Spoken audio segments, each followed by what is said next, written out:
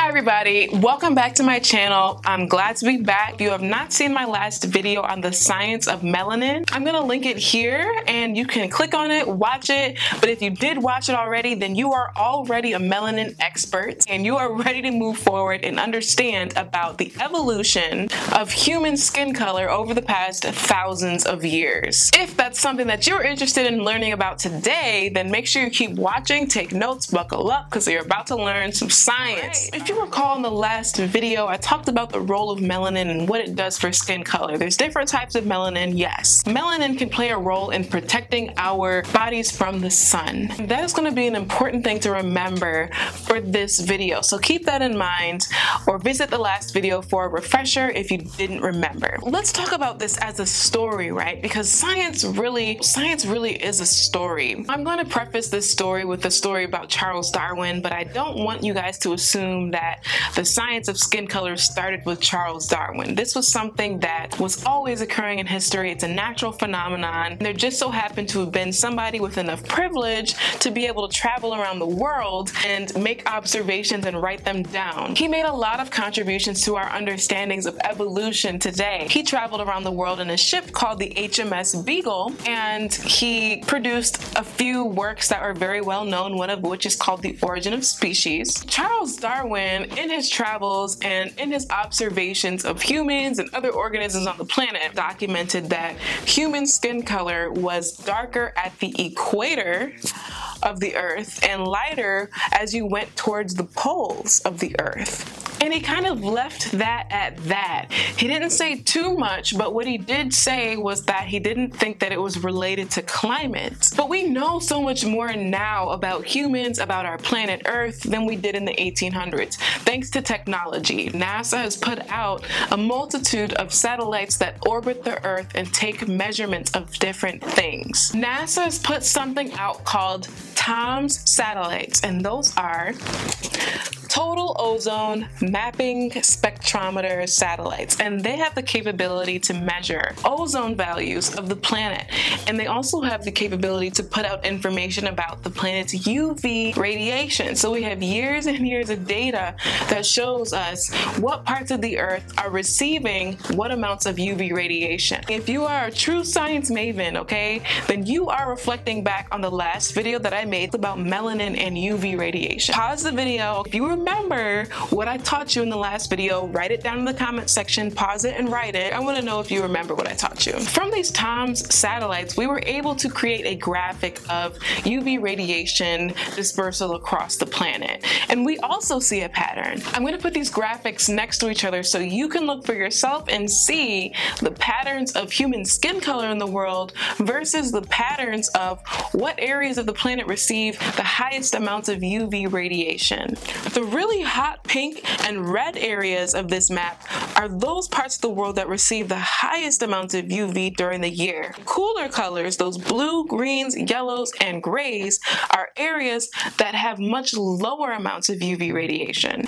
When you look at the human skin color map, you also see that very interesting gradient where you have very darkly pigmented skins concentrated around the equator, and then you have lighter skin pigments radiating out from the equator towards the poles. And this is not by coincidence. Remember what I taught you in the last video about melanin and how melanin protects from UV radiation. It's very important to remember here that humans evolved in equatorial Africa, which means that the earliest humans lived there. So that environment, the climate there, the radiation that was happening in equatorial Africa impacted how humans evolved. The earliest humans had dark skin. They had lots of melanin because they lived at the equator. If you watched my previous video, you would know that that is a good thing. It's a great thing if you live at the equator to have lots of melanin because melanin protects you from UV radiation. Without UV radiation protection, you can have damage to your DNA and ultimately perhaps get something like skin cancer or various types of cancer. Melanin helps to absorb that sunlight and protect your skin, your cells, your body from UV radiation. But one thing that I did not tell you in that last video was that UV radiation actually helps you to produce vitamins in your body. Yes, the sunlight actually plays a role in vitamin production in human beings. And that vitamin that's produced with the help of the sunlight is called vitamin D. And we need vitamin D, okay? We need vitamin D. Vitamin D helps us to produce strong bones, it helps us with our immune system, and it also plays a role in a lot of other functions in our bodies. So vitamin D production is very important and it is made with the help of sunlight. Let's talk about evolution on a grand scale, thousands of years. Humans did not stay in equatorial Africa. We moved, okay? We migrated all around the world. As that happened over thousands of years, our bodies began to make adaptations. As we moved away from the equator, the levels of melanin that our bodies had were no longer suiting what our body's needs were. Remember, we need vitamin D, okay? We need vitamin D, but we also don't want to have damage to our DNA from UV radiation. Our bodies have to consistently figure out how much melanin, you know, we need to be successful as a species. As humans moved away from the equator, we got lighter and lighter and lighter and lighter. Why?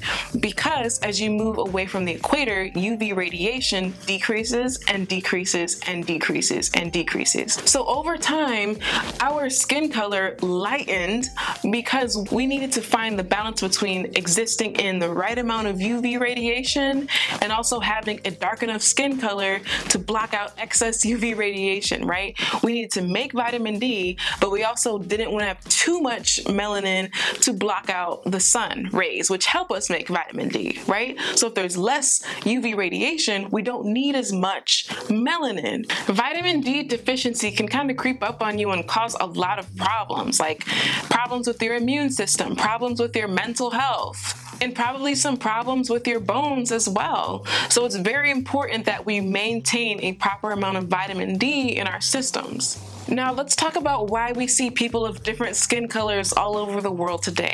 We moved around quite a bit, okay? All of the things that I've talked about as far as humans migrating from equatorial Africa out into the rest of the parts of the world, that happened for thousands of years. I mean, tens of thousands of years it took humans to move out from equatorial Africa into different parts of the world.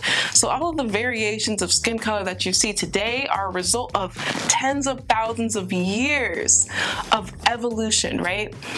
But I'm a black woman and I live in New York. you know what I'm saying? I live in New York. I'm very far from equatorial Africa.